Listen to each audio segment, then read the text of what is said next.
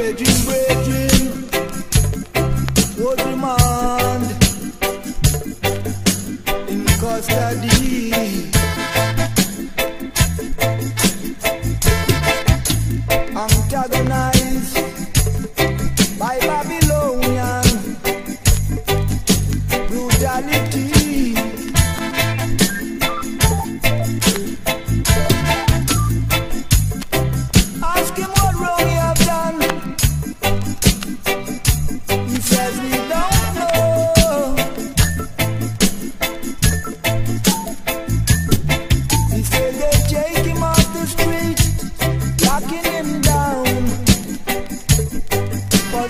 politician